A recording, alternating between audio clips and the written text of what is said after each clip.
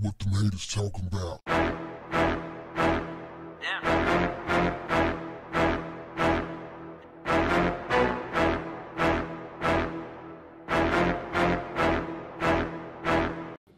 What's up, family? Now that Bernie Sanders has dropped out of the race, the heat is on for Joe Biden to pick a running mate soon so that he can generate some much needed media attention and fundraising while in the middle of this global pandemic. Sophia Nelson, who writes for The Blast, is a black woman who believes that Joe Biden, without question, should pick a black woman as his running mate. Here's the point she made. She said that when Barack Obama secured the nomination for President of the United States of America in 2008, he chose the older, wiser, gray haired, white male senior senator from Delaware, Joe Biden. Although Biden was not the exciting choice, he was the right choice for the young black nominee. Obama was going to be the nation's first black executive. He needed to reassure those nervous about history's choice that he would have someone safe and known to the public by his side. She said now Biden needs to send the opposite signal that it's time for America to trust a woman who represents the backbone of the Democratic Party with the vice presidency one who is ready on day one, if need be, to serve as president. Now, who could that possibly be?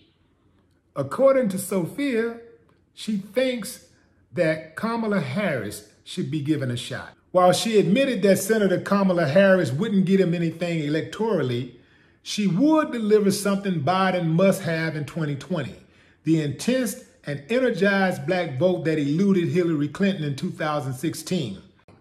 She noted that she's a member of Alpha Kappa Alpha Sorority Inc. with a powerful army of more than 300,000 members worldwide who could help her raise money and be foot soldiers on the ground. Another strong choice electorally and along color lines is Florida Rep. Val Demings, who served as House impeachment manager during the Trump impeachment. She too could produce the excitement and help Biden compete for Florida, a state that Trump cannot afford to lose, according to Sophia. In regards to Stacey Abrams, she said there's one big reason why she wouldn't put her in the hunt, and that is because she hasn't been vetted nationally by a nosy, aggressive, and often rough national press corps. Harris, Demings, and other possible candidates are federal office holders. They've been vetted. Biden has made it clear he wants no hiccups or surprises. And a 43 year old woman of color who currently holds no public office and lost her only statewide race would be a big leap for the country to accept as someone ready for presidency on day one. Most of what Sophia says makes sense, especially with the part where Barack Obama went and got Biden to make people comfortable, you know. I get all of that. And Biden has to pick a running mate that can help him get votes that he can't get.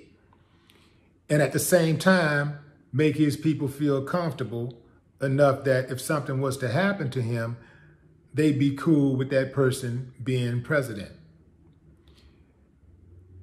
Kamala Harris is a liability. People are not going to forget what she did as a prosecutor in San Francisco and attorney general in California. That's not going away.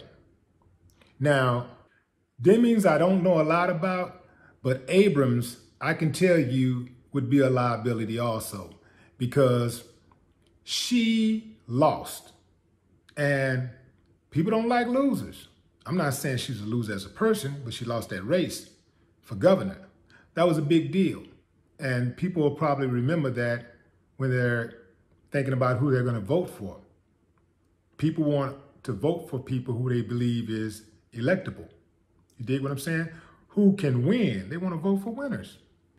Having said that, all of this could be a waste of time because Joe Biden is a liability himself. That 1994 crime bill is going to come back to bite him directly in the ass. I can guarantee you. It's no way possible he'll be able to do all of that damage and get away unscathed. I don't believe it. I do believe that a number of black people are going to stay home on this one. And I wouldn't blame them. No more talk. What, what the haters talking about? Yeah.